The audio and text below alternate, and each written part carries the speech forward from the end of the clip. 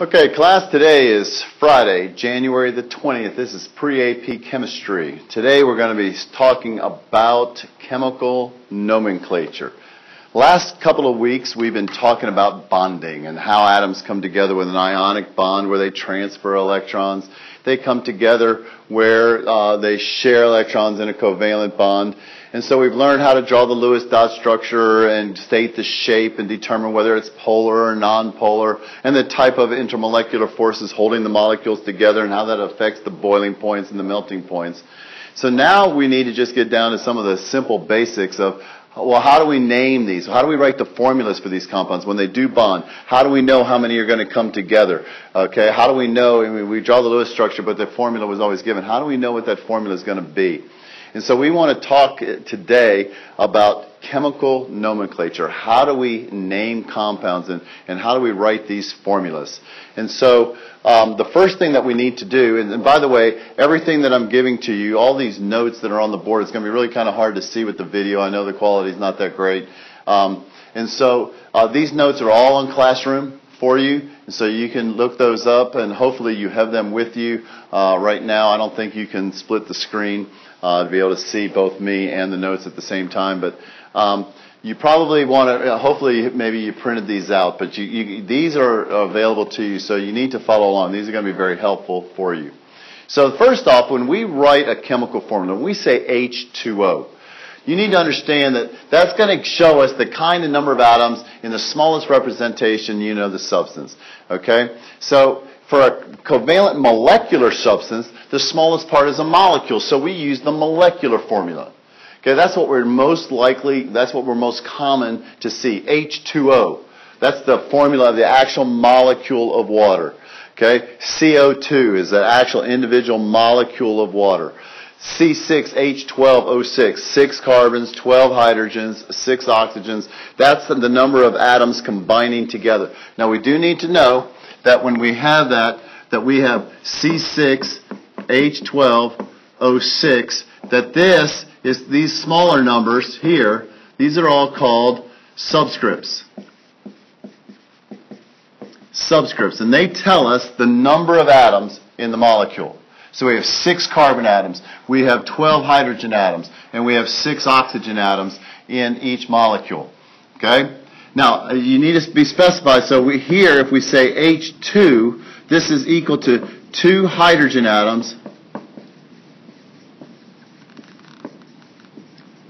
bonded together.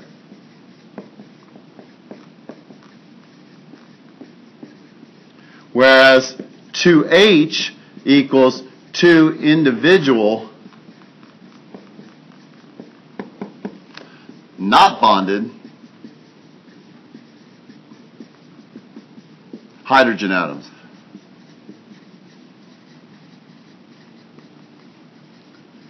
So if I put a 2 out in front of this molecule here, that means I'm going to have two glucose molecules. The coefficient, coefficient here, just like in math, a coefficient. Okay? This tells us how many molecules we have. The subscripts tells us how many atoms are in each molecule. I think you probably already know that, but I just wanted to clarify. I'm going to move the camera to get a little bit better angle of all of that. So let's just see here. So, oh, come back to me. Find me. I'm over here. All right. So, the coefficient tells us how many molecules, the subscripts tells us how many of each. So in a covalent molecular substance, we use a molecular formula. That tells us the exact number of atoms in the molecule. It does not have to be the simplest ratio. For instance, even on this one, glucose, obviously that could be reduced to 1 to 2 to 1. But the molecule exists, C6H12O6.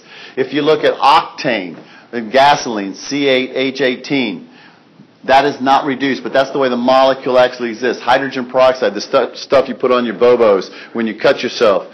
Okay? And so, um, H2O2. Yes, I know I say bobos, okay, but you say boo-boos, but boo-boo is the bear on Yogi Bear, okay? So it, it's a cut, it's a scrape. So H2O2. Molecular compounds, you get to use the molecular formula. It doesn't have to be the simplest ratio. Now, it can be, like water, the molecule is the simplest ratio, 2 to 1. That, that, that's the way it is. So many covalent compounds, carbon dioxide, CO2, that's the simplest ratio, and that's the way the molecule actually exists. But it doesn't have to be. Okay? Whereas in ionic compounds, we, call, we use what's called the empirical formula or formula unit. That's just the whole, the lowest whole number ratio. Because if you recall, you just took the test yesterday, that ionic compounds don't form molecules. They form these large crystal structures where positive surrounded by negative, surrounded by positive, surrounded by negative, surrounded by positive. So there's no real molecule. So all we can do is give the simplest ratio. Well, what's the ratio of the ions in that crystal? And so we call that the empirical formula or the simplest ratio. Empirical means simple. And so um, we, in an ionic compound, you're going to have some polyatomic ions. We're going to talk about those later. That's what the chart up on the wall is, the, the many atomed ions. They're bonded together. They carry a charge. Okay?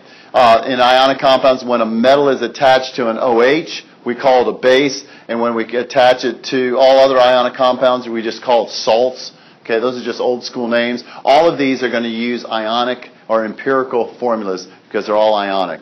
Okay? So if you have a polyatomic ion involved, even if it's a base or any other ionic compound, we're going to use the empirical formula to describe it, the simplest ratio. And we'll, we'll be talking about these two things. Okay? So this is for ionic compounds. This is for covalent compounds. Metals are elements, and so we won't worry about the, the formula for metals. So we're really just going to be focusing on these two right here. But before we can really get into naming and writing formulas, we have to understand this thing called oxidation numbers. Now I need to go move the screen up.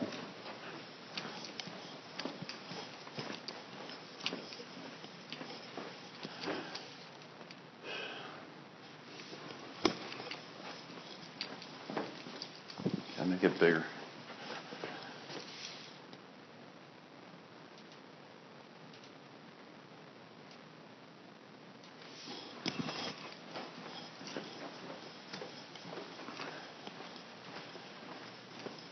Okay?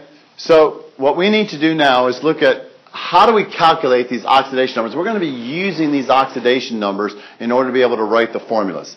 Okay, so the definition of an oxidation number is the number of electrons an atom tends to gain, lose, or share when forming a chemical bond. When we looked up at the periodic table and you see the alkali metals and we say it's going to form a charge of plus one, that's talking about it's going to lose one electron because it wants to be the same electrons as the noble gases. Or we look at the halogens, fluorine, chlorine, bromine. We know that they want to gain one electron to be the same electron configuration as the halogens. So they're going to be a minus one. Oxygen family wants to be a minus two. But that's all talking about gaining and losing electrons. When we get into covalent bonding, we're going to be sharing electrons. And that's where oxidation state really is more important because for ionic compounds, the oxidation state and the charge is pretty much the same thing, so there's not much difference there. But when you get into covalent compounds, they're not transferring electrons, not really gaining and losing, they're sharing electrons.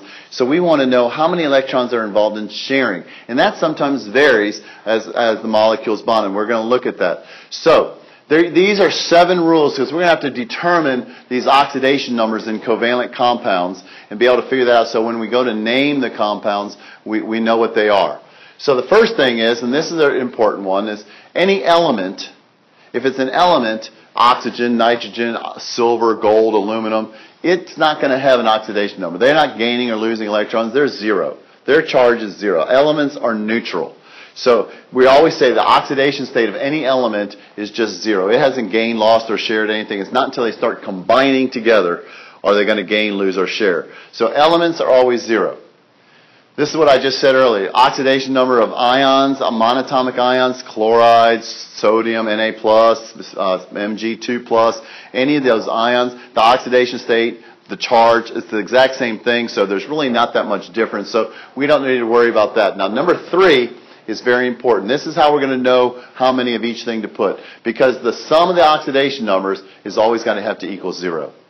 So this is one of the most important rules right here. So we really need to know this. Now, in order to be able to figure this one out, we have to know 4 and 5 are just the generalities. Hydrogen is almost always plus 1. Now, if you look at Rule 6, Rule 6 says the more electronegative element is negative and the less electronegative element is positive. That's how we determine which one's positive, which one's negative. And if you recall, you look up again on the periodic table, metals always have the low electronegativity. Nonmetals have the high electronegativity. So metals are going to be your positive, your nonmetals are going to be your negative uh, oxidation states because of electronegativities. So hydrogen, it's way over there on the left. But its electronegativity is right in the middle, 2.2 on a scale from 0 to 4. But when it combines with almost any other nonmetal, it's the less electronegative element, so it's going to be plus 1. So almost always hydrogen is plus 1. But every once in a while, it'll combine with an active metal. An active metal is one like an alkali metal or even an alkaline earth metal, group 1 or group 2. Those are low electronegative elements. So in those rare cases, hydrogen is the more electronegative element. So hydrogen actually becomes minus 1. And so any minus ion, we're going to learn in just a little bit, any minus ion is always going to end in IDE, so it's called the hydride ion. When it's plus 1, we just call it the hydrogen ion. But when it's minus 1, it's the hydride. All minus 1 ion, all minus ions that are just one atom are in IDE. And we're going to, again, we're going to talk about that in a second. Okay? Oxygen is almost always minus 2. There's a rare case when it's called a peroxide, when it bonds with itself. Hydrogen peroxide. If you recall when we were doing Lewis dot structures, we always said we build like sulfur, H2SO4. We put the sulfur, oxygen, oxygen, oxygen. We build the oxygens around, okay?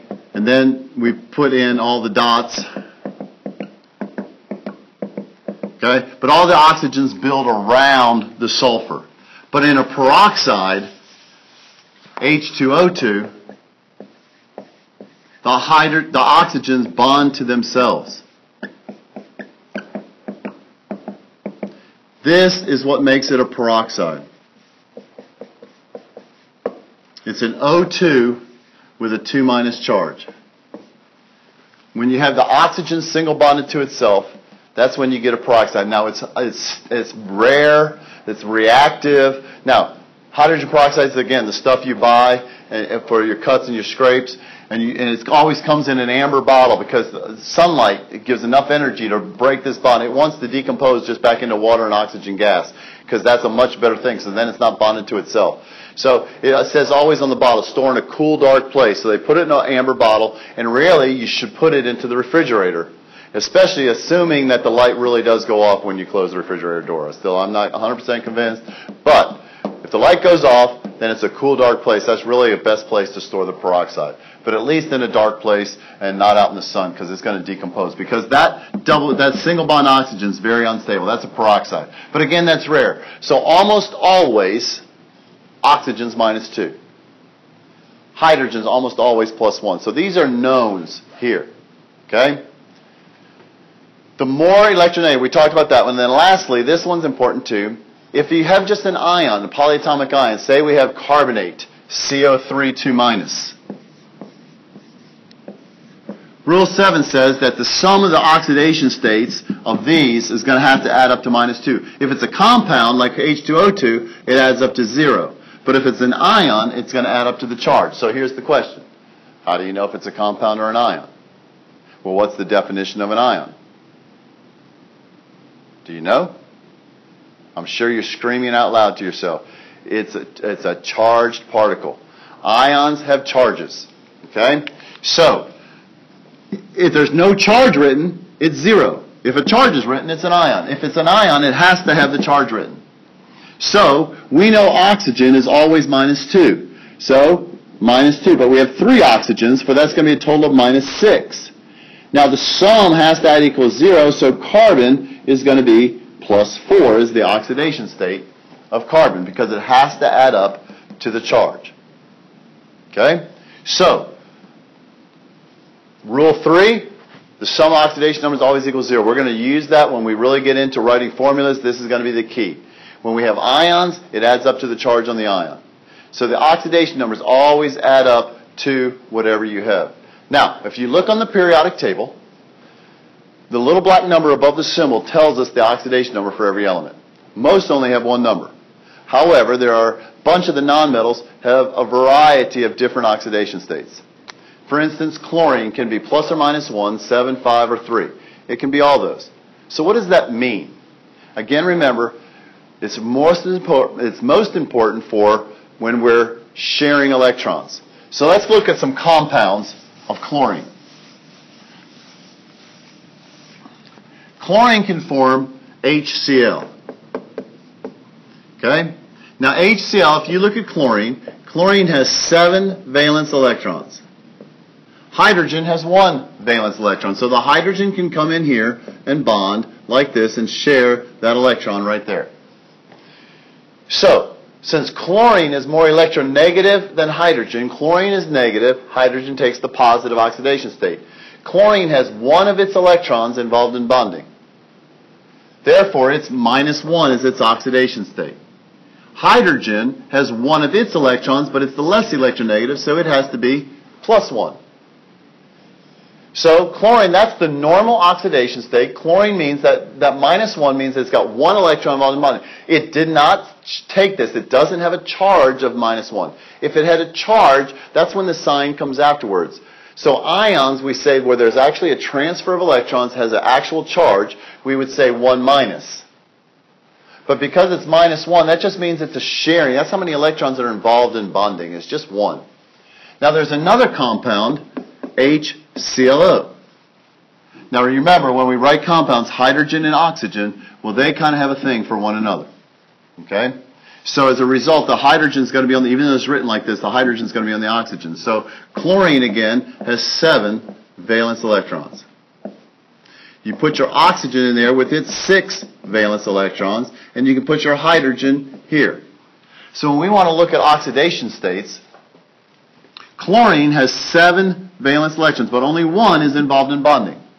Just this one right here. Since oxygen is more electronegative than chlorine, and you can find those values on the back of your periodic table, oxygen gets the negative, chlorine has to be plus one in this case. Oxygen has its two electrons involved in bonding. It gets to be minus two. And hydrogen has its one. It's less electronegative, so it's plus one. But notice they all add up to zero. So the oxidation state is telling us how many of the electrons of each element are involved in bonding. But we can actually kind of do that just looking at the compound.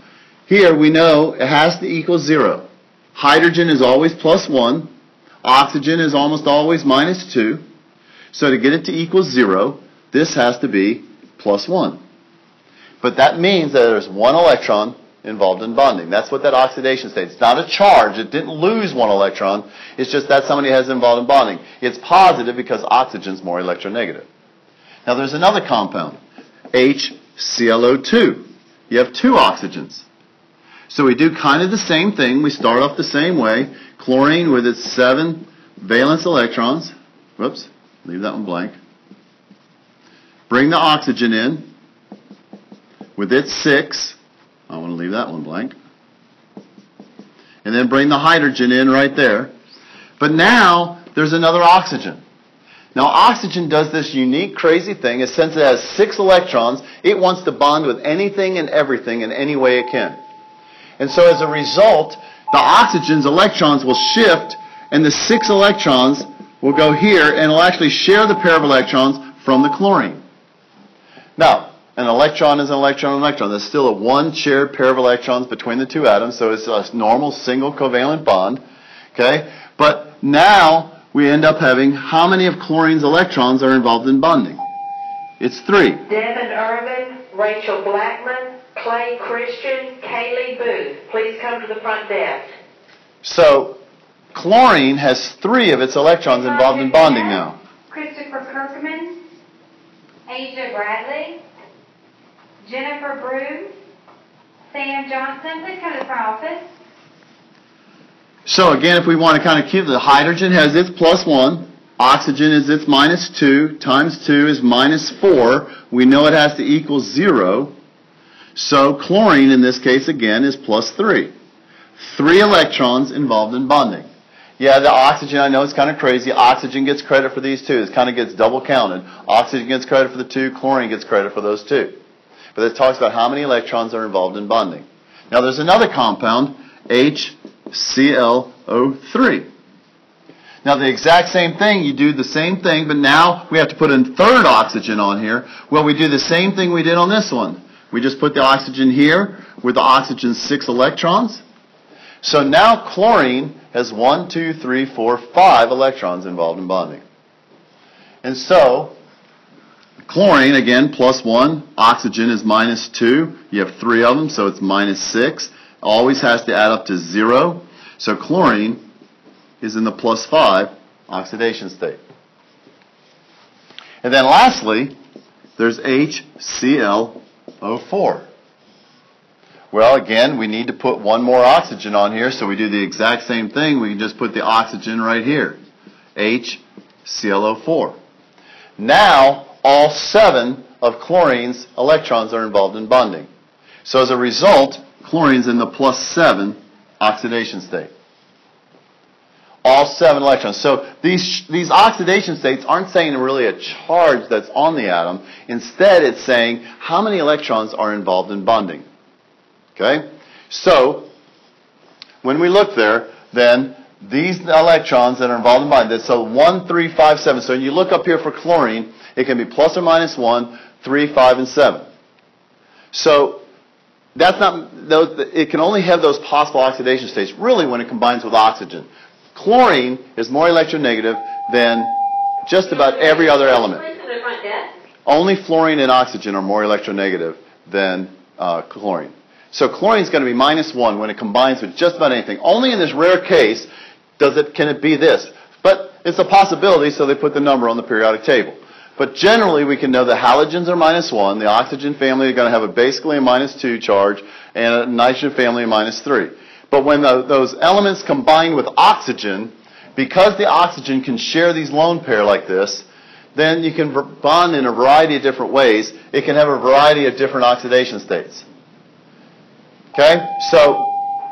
Kaylee Booth, Clay Christian, please come to the front desk. So we're really just talking about the number of electrons gained, lost, or shared in a chemical reaction. So we should be able to calculate the oxidation state. So let's practice, see if we can do it.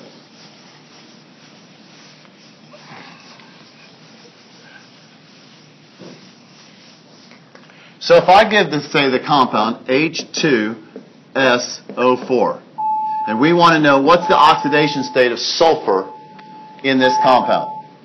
Well, first off, I know it's a compound because there's no charge written here, so I know it has to add up to zero. Okay? Now, what do we say the, the, the oxidation state of hydrogen always is? Well, it's always plus 1. Okay? What's the oxidation state of oxygen? Well, it's always minus 2. So we got plus 1, but there's two of them, so it's plus 2. Oxygen is minus 2, but there's four of them for a total of minus 8. So plus 2 and minus 8, what does sulfur have to be to make it equal 0? Well, hopefully you can see plus 6. That means that sulfur has all six of its electrons involved in bonding. It doesn't lose six electrons, it just has six electrons being shared with the oxygen in all the bonds. If we did another compound, we could say H2 um, H2CrO4. And I want to know what's chromium's oxidation state in this.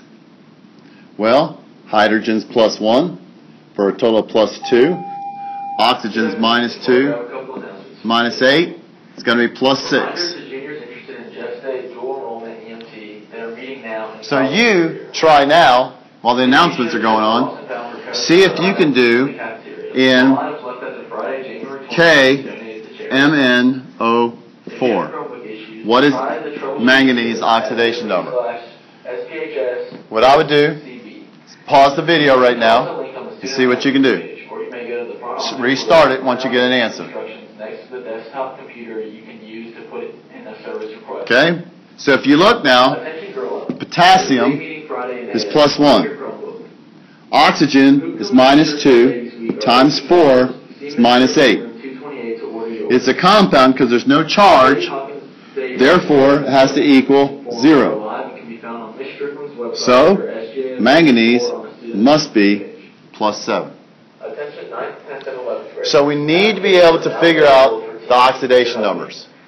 Take a class that focuses on. Let's do one more. Get your application. That's kinda complicated. It's room 201. Applications are due Tuesday, January 31st, 2017. Today, Jostens will be presenting the seniors with cap and gown. Okay, so copper nitrate. 8th, Jostens will be back to collect orders Okay. and payments for caps and gowns during lunch. Copper can All have students interested in applying several oxidation states, so we don't know which one it's going to be. Need to pick up So we got to figure it out. Well, we know that nitrate By Friday, January 27th. is minus 1. Now, we're going to talk about that too. We're going to memorize these. The but- to register is Thursday, January 19th. Ooh, I hate Sign announcements. up for a chance to participate in the 27th. But the nitrate, you look up here on the table, you see it's minus 1 is the charge. Sign up sheets are on the class. Since we have two of them, come by Miss Bennett's room. the total negative is minus 2. Has to equal 0, so copper Have a great day. is plus 2. But what's the nitrate in this? Well, to get nitrate, Teachers, at this time, please release the seniors to the to get nitrate, you can pull it out and say NO3 minus. That's the charge on the ion. Well, the sub, well, it has to add up. Don't, don't worry about the two. Just the NO3 minus. Okay, they're going to both be the same. The two nitrates both be the same. So NO3 minus, we know now this is rule 7 that it has to add up to the charge. So oxygen is minus 2 times 3 is minus 6, has to equal minus 1. So therefore nitrogen is in the plus 5 oxidation state here. Yeah, normally it wants to be minus 3, but when it combines with oxygen, it's forced to be in the positive. and oxygen can do all that with the electrons, so things get crazy when it's combined with oxygen. If it's nitrogen with anything else other than oxygen, it's going to be minus 3. Okay? So, we should be able to calculate, we need to be able to calculate these oxidation numbers. You can read about that in your textbook. There's some practice that you can do in your textbook in chapter 7. And so if, if you're still a little unclear, that would be a good thing to look at. All right, so now let's look at actually naming.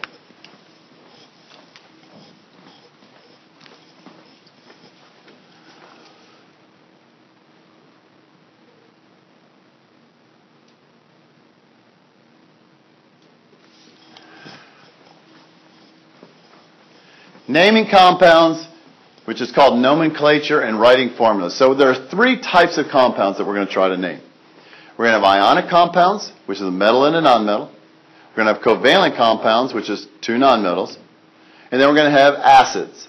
And acids, the positive thing is always just going to be hydrogen. And we're going to look at how to do that. But we'll talk about that on Monday when uh, I come in. Today, we just really want to just finish up by talking about how do we name ionic compounds and then how do we write formulas for them.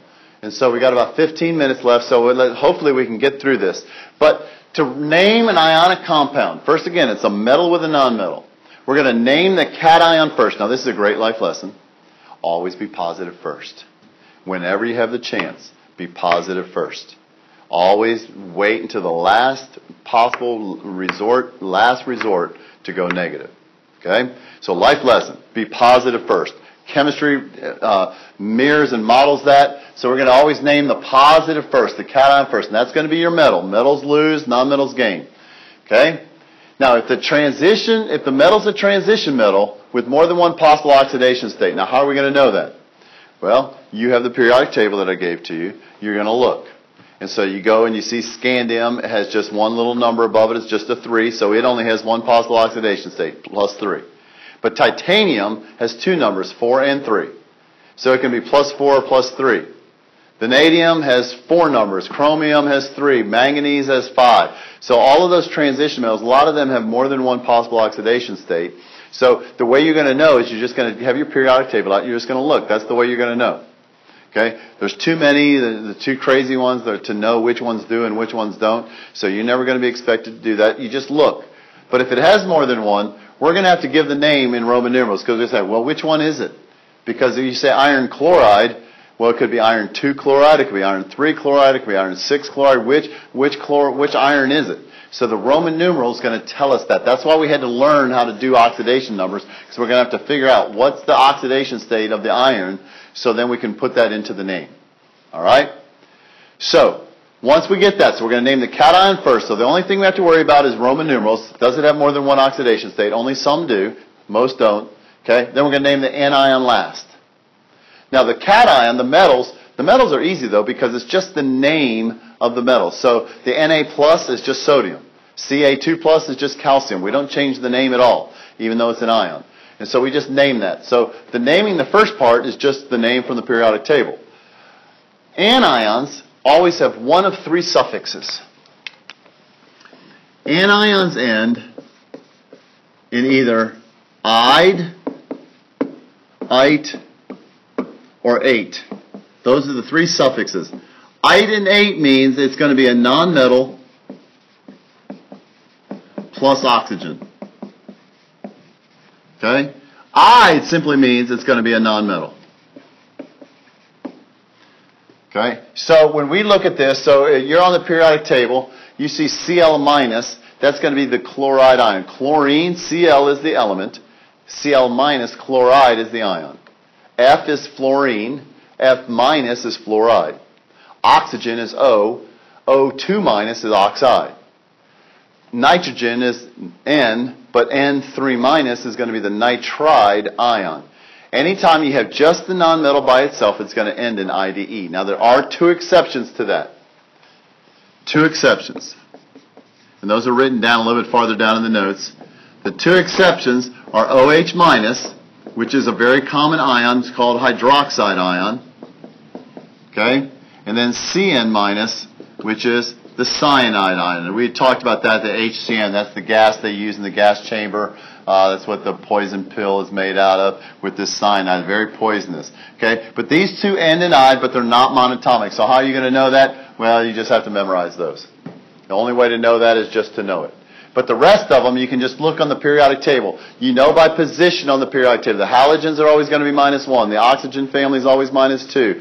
The nitrogen family is always minus 3. And it's just going to, if it ends in ide, that means it's just the element by itself. Okay? You can have more than one of them, but it's just one element. Now, if it ends in ite or ate, that means it's going to have some oxygens with it. So when we look up here, you can see that SO4 2 minus is sulfate. So the sulfite, the difference is, is just one less oxygen.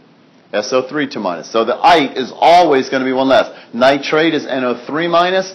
Nitrite is NO2 minus. Phosphate is PO4 3 minus. Phosphite is PO3 3 minus. So the only difference between the ate and the ite is one less oxygen. Now, we can know the charge of the ion by what family it's in. Because anything that has sulfur in it is going to be minus 2. With the phosphorus, it's going to be minus 3. With the halogens, it's going to be minus 1. So we can know the charge based upon what family the, the nonmetal is in. Not the oxygen, but the nonmetal. However, the number of oxygens, you just have to know. There's no way of knowing on that. You just have to know on the number of oxygens. Okay? So on Monday, I'm going to come in and I'm going to give you a list. And yes, you are actually going to have to memorize and know that whole chart, but I'm going to show you how you're going to be able to figure that out. Okay? So the first thing you need to know is that if it's ite or ate, it has oxygen. The ite is always one less oxygen. Okay? Now there is one other unique thing down there at D with chlorine. Chlorine forms not just two possibilities with the ions, but four. We can have ClO minus, ClO2 minus, ClO3 minus, and ClO4 minus. Well, we named this one chlorate. So one less oxygen than chlorate is going to be named chlorite. Okay? So A tonight. That's normal. One less oxygen. But now this one has one more oxygen. So we have to put a prefix. We're out of suffixes. These are the only two possible suffixes for with oxygen. So this one has one more, or, it's over, has it's a higher oxidation state. So the prefix for that is hyper. So we say, but for some reason they took the high part off, and we just call it perchlorate. But it comes from hyper, like hyperactive kid is an overactive kid. Hypersensitive, you're very sensitive. This is perchlorate, that's over the chlorate. One more oxygen than the chlorate. And then the prefix for under, if you've ever had to go get a shot, you had to use a hypodermic needle, so it's below the dermis, below the skin. Hypoglycemia means you have low blood sugar. So we're going to say hypochlorite. Now, I don't know why they don't take the high off of this one. They did here. Maybe they just don't want you to feel sorry for the chlorite and just say, oh, pochlorite, you know. But it's hypochlorite, meaning below. So one below. Same charge, same everything, just one less oxygen. Now, the good news is, is that all the elements in a family bond the same way. So if we know this trend is true for the chlorates, that means that BrO4 minus is going to be perbromate. So what would IO4 minus be? Hopefully you're all screaming out per iodate. So then IO3 minus would be iodate, excuse me, iodate. IO2 minus is going to be one less oxygen than the ate, so it's going to be iodite. And then IO minus would be IO. No, not really. I'm just kind of getting a little goofy here. So it'd be hypo iodide. Hypo So if you know one, so the bromine is going to do the same thing, the chlorine, all the elements in the same family are going to bond in the same way. So these are all minus one charges because everything in the halogens are minus one. Okay? So by knowing one, if we know chlorate, by knowing this one, that's the main common one, you can figure out really 12 more. You can figure out all the chlorines, all the bromines, all the iodines. They're all going to do the exact same thing. Ite is always one less oxygen than the ate. The hypoite is one less than the ite. And then the perate is one more than the ate. Every time. So you can do that. So by knowing one, you know 12. So you don't have to memorize all 12. You just know the rules and you memorize one. The same thing is true here. If you look at sulfate, is SO4 2 minus. So then you go down right below it, selenium. So selenate is going to be SeO4 2 minus. Selenite is going to be SeO3 2 minus. Tellurium, you're going to have tellurate, TeO4 2 minus, or tellurite, TeO3 2 minus. And then if there's no oxygen, it's just Te2 minus, that's going to be telluride, which is also a famous ski slope out in Nevada or Colorado, somewhere out there. Um, it's somewhere that's a good ski slope, though. I've never been there, but I've heard it's pretty nice. Okay? So all the elements in the family bond the same way. Phosphate is PO4 3 minus, so arsenate, just below it, arsenate is AsO4 3 minus. Elements in the same family have the same number of valence electrons, so they all bond in the same way. Now, how then do we name things? Okay? We just got to put all this together. So if you understand how these ions are named, it makes learning them easier. So we're going to learn the ions. So in order to name the ionic compounds, you've got to name the cation first, anion last, but we need to know how they're named. So let's look at just some practice. We're going to finish up with this.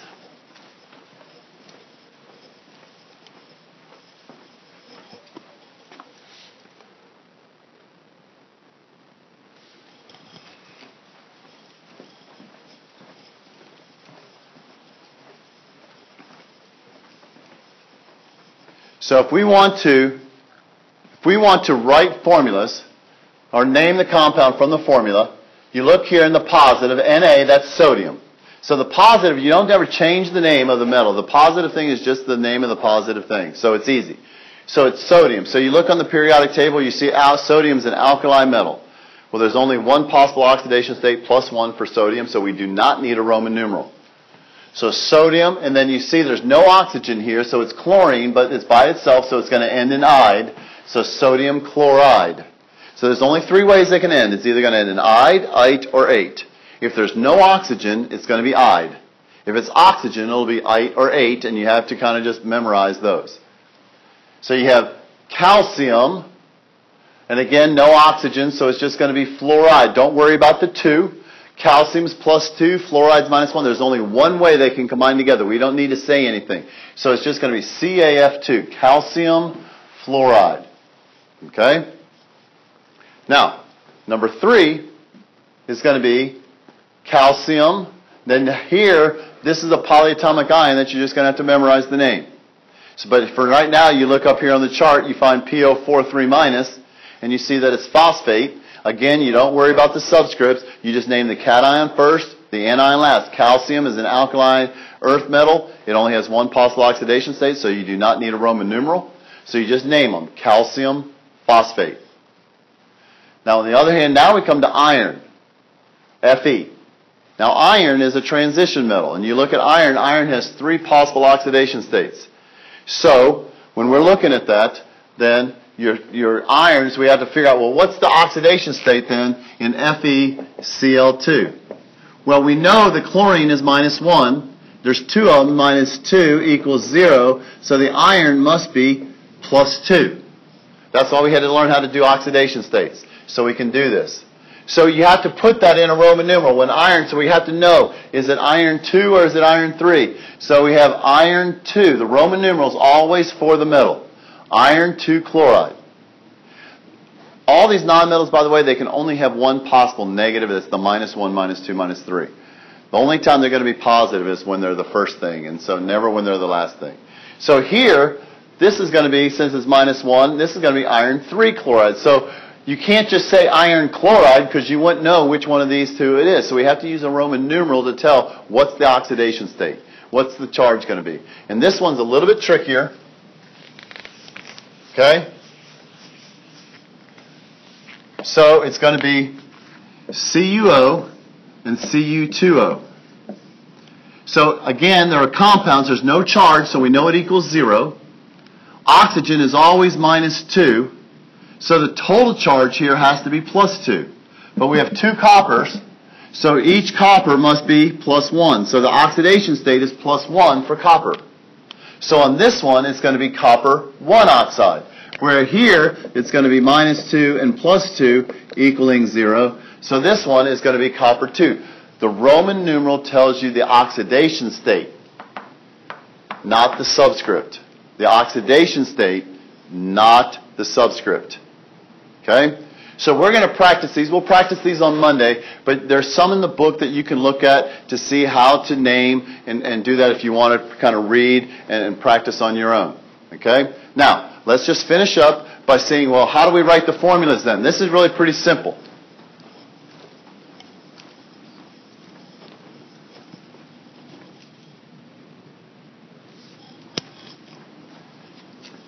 Okay, just like just like in naming, positive goes first, negative goes last. And the whole key is that we have to make positive equal negative. So we're going to crisscross.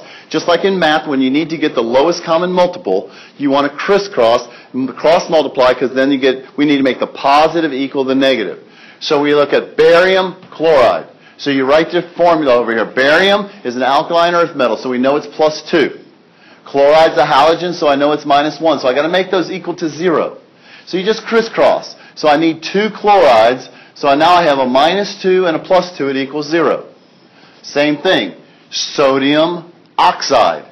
Well, sodium's an alkali metal. It's a plus 1. Oxygen is minus 2. So I need two sodiums to get the plus 2 to equal the minus 2. So Na2O is the formula. Just crisscross. Magnesium sulfide. Magnesium's plus 2. Sulfur's minus 2.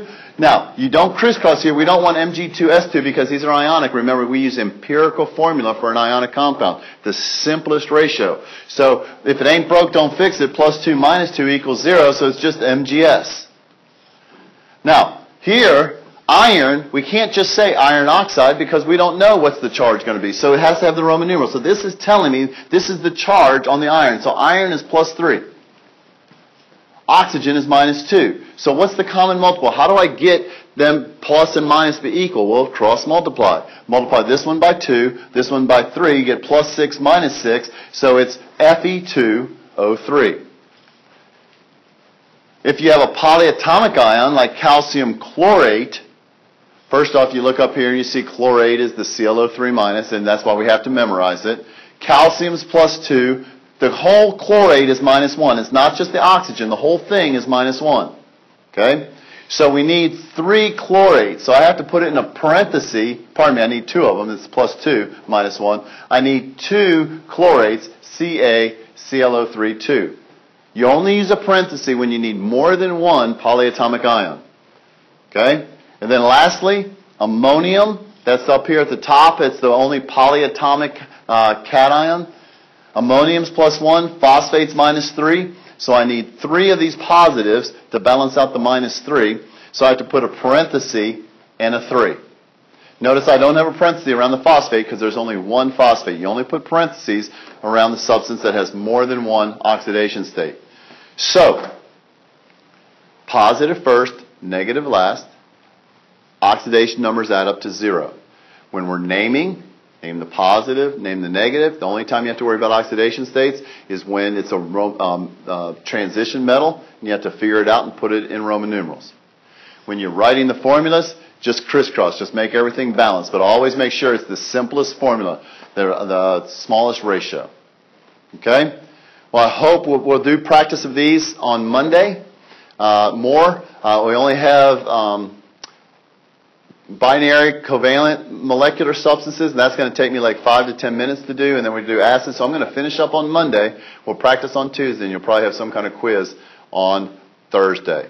So uh, just know that that's coming. Hope you have a great weekend, and feel free to subscribe to my channel. Have a good day.